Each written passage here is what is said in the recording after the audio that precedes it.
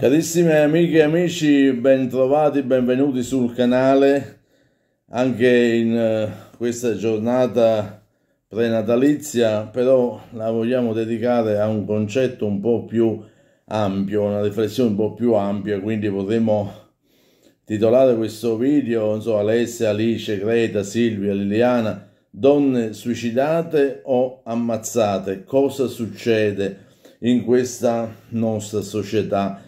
Degli ultimi tempi.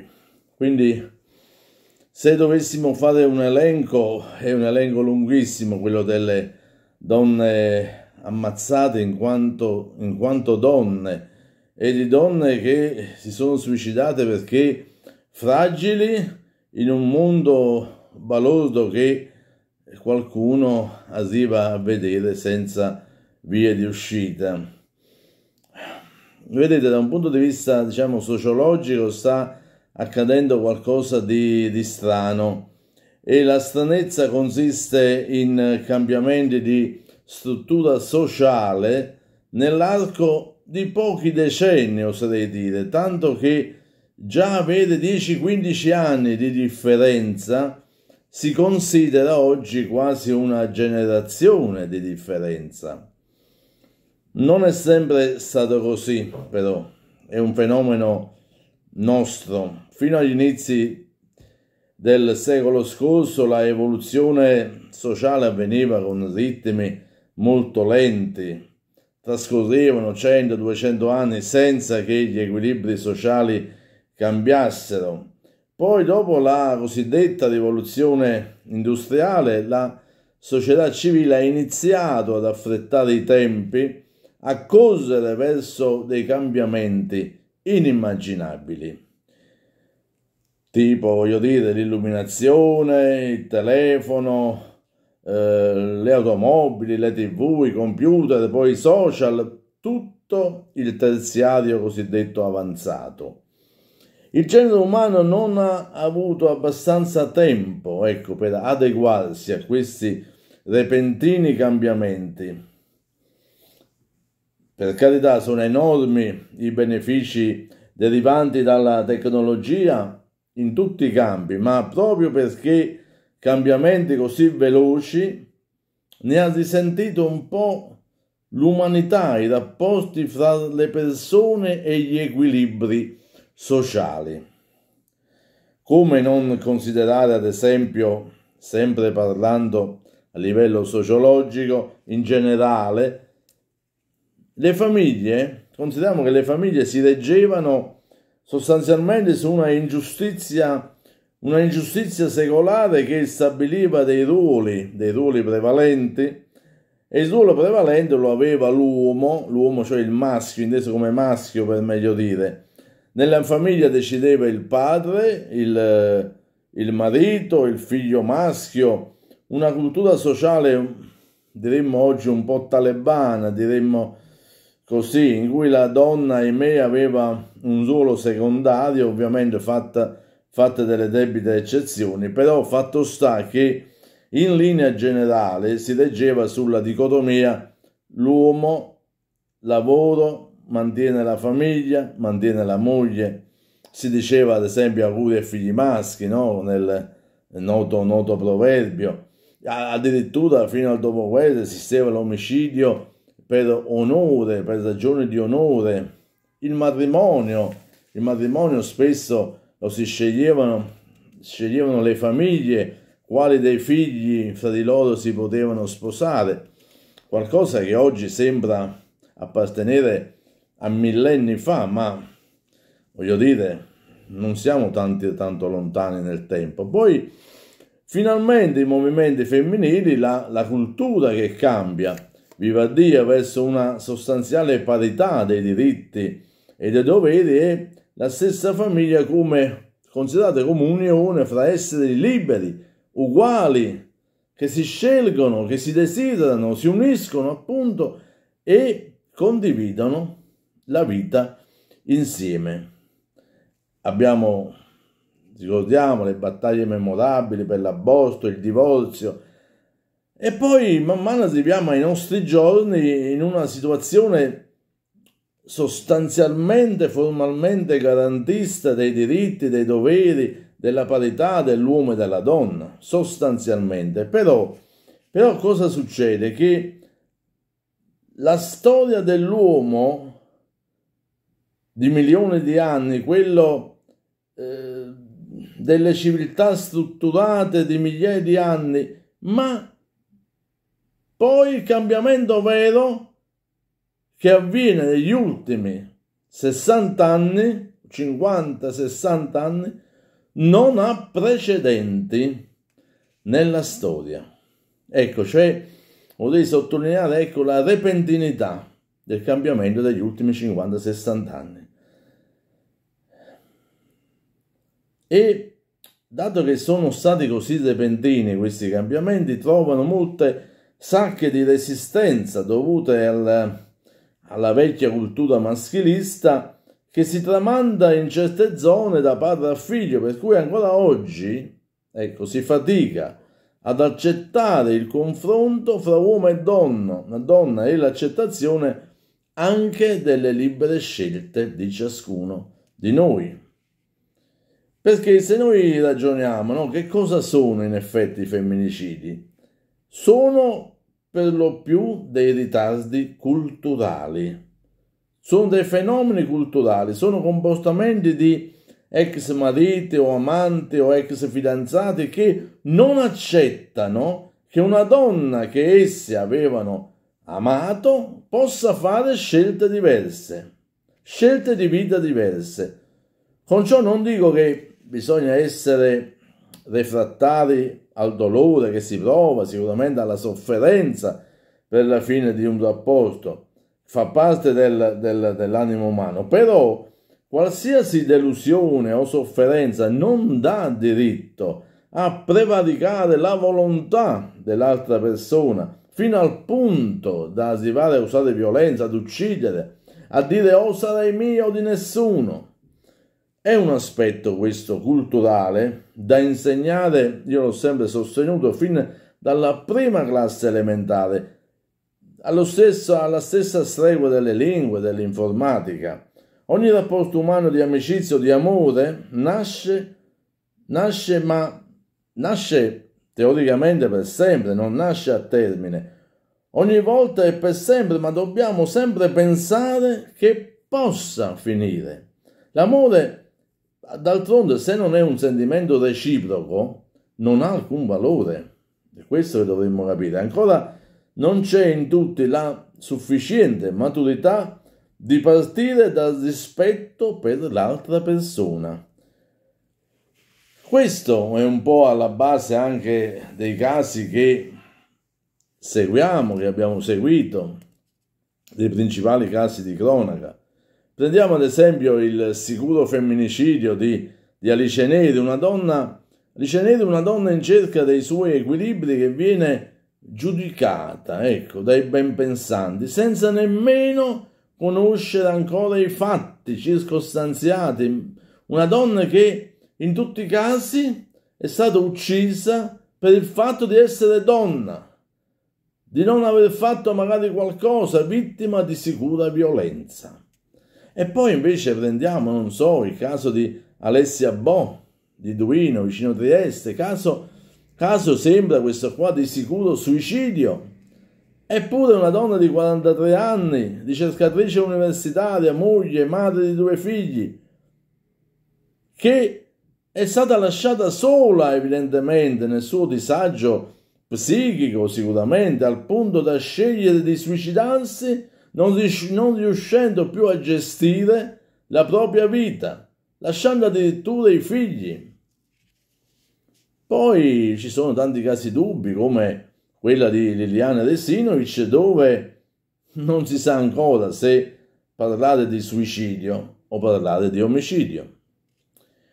Vedete, quello che mi premeva riflettere è che questi femminicidi e questo incremento di suicidi ha origini nelle caratteristiche della nostra società contemporanea.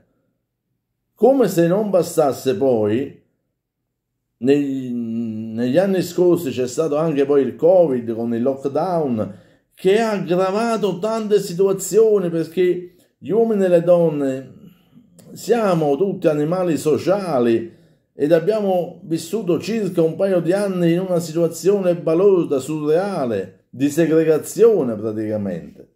Ma al di là di ciò, al di là di ciò, è l'esplosione dei social. Ecco, questo dobbiamo parlare.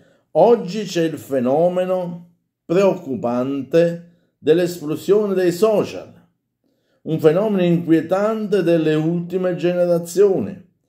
Vediamo giovani e non solo che vivono incollati, incollati ai loro smartphone, 24 ore su 24, anche quando guidano la macchina, quando pranzano, cenano, uh, a tavolo con l'aperitivo, camminano per strada sempre guardando nello smartphone. Uno stare 24 ore su 24 praticamente a contatto con i social creando un mondo di omologati, di globalizzati, senza pensieri propri e isolati. Sì, isolati. Sì, perché paradossalmente pensate che la parola social porta con sé l'idea di socializzazione, social, cioè il far mettere in contatto fra di loro le persone ma per paradosso, avendo esteso i contatti in un modo incontrollato, senza limiti, hanno relegato le persone alla solitudine, chiusi spesso nelle loro stanze, a chattare dalla mattina alla sera con contatti mai conosciuti di persone. È vero. E anche questo è un fenomeno che ci sta sfuggendo di mano, cari amici e cari amiche mie. È stata fatta recentemente, mi sembra, anche un'ordinanza ministeriale per impedire l'utilizzo dei cellulari durante almeno le lezioni scolastiche. Ma poi c'è l'aspetto eh, soprattutto che riguarda l'amore peculiare che dovrebbe anche questo correre oggi sulle onde elettromagnetiche dei social una sorta di follia collettiva. Ci si trova con uomini e donne, sposati e non, che sui social hanno storie pseudo-affettive con persone mai conosciute, a volte poi che forse si conosceranno, forse. È questa una delle cause della instabilità affettiva. L'aspetto narcisistico più o meno sviluppato in noi tende ad avere compiacenza delle attenzioni ricevute, delle belle parole, dei cuoricini che viaggiano online, che giungono a centinaia dai contatti. Ciò provoca una sorta di, quello che io chiamo una sorta di stordimento emozionale, ecco, per cui non si riesce più a dissociare, dissociare la vita reale da quella virtuale. A parte ciò, poi c'è la, la vita anche sociale lavorativa, relazionale, che pone le persone oggi che si, si, si, lavora tutti in uno scontro eh, pressoché continuo di emozioni, sia positive che negative. Questa sorta di, globalizzazione emozionale porta come conseguenza che una coppia, specie se giovane, deve avere dei sentimenti davvero sani alla base, forti, profondi, che li unisce. Un desiderio di passione che li rende inossidabili alle cosiddette tentazioni esterne. E per fortuna ci sono queste coppie, per carità, consolidate, che si amano e che hanno valori profondi, ci sono, ma ce ne sono tante, troppe, che vanno in crisi ed allora o si dividono oppure vanno ad instaurare equilibri diversi, diciamo così, fra di loro. A volte non si accetta nessun tipo di cambiamento, si innesca la violenza e che questa violenza vede quasi sempre soccombere la donna per una questione, se non fosse altro, di struttura fisica. È qui che bisogna intervenire, credo, eh, nel recuperare innanzitutto un modo di vivere più a misura d'uomo, rallentando i ritmi, i ritmi, selezionando gli impegni, vivendo secondo le proprie inclinazioni, quello che ci dice quella vocina che abbiamo dentro, il proprio seme, il proprio sé. Noi siamo una pianta unica, originale, non possiamo vivere secondo le proiezioni d'arte, secondo volendo assomigliare a qualcuno. Dobbiamo vivere assomigliando a noi stessi, un po' più istintivamente, è quello che dovremmo fare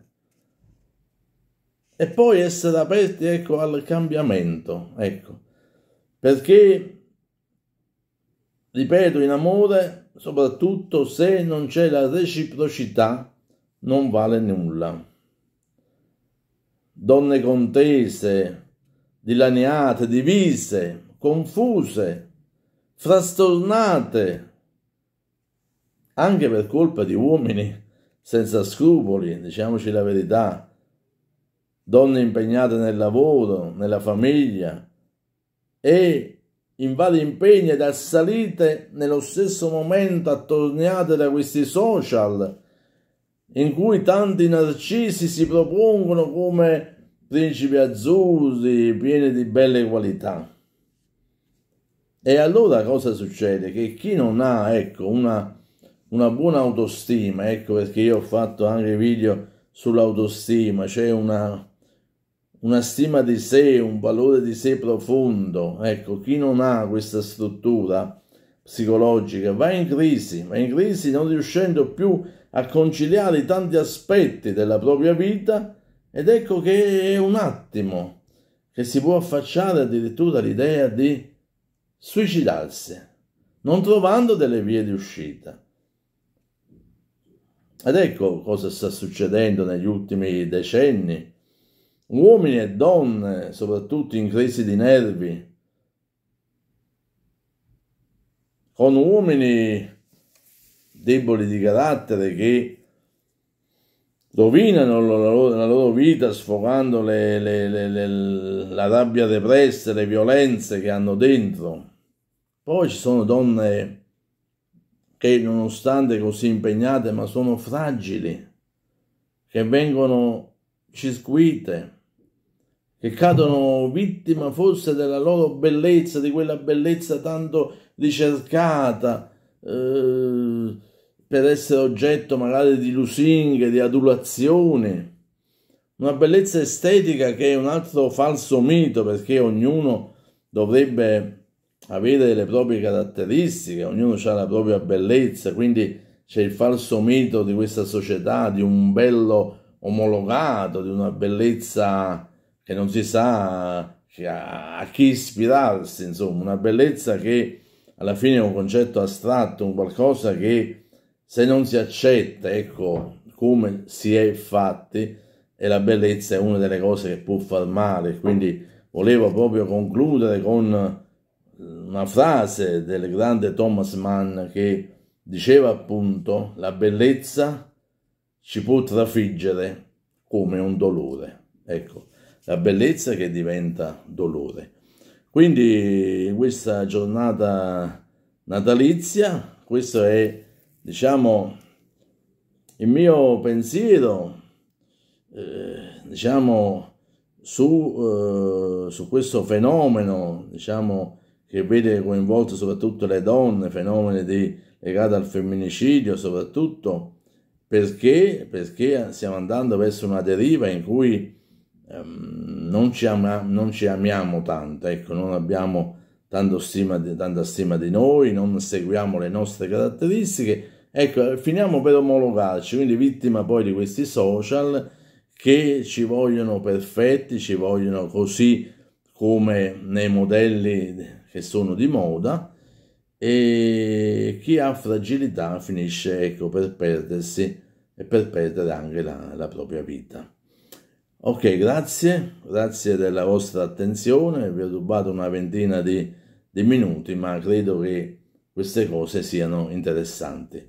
Di nuovo buon Natale a tutti, vi porto nel cuore. A presto.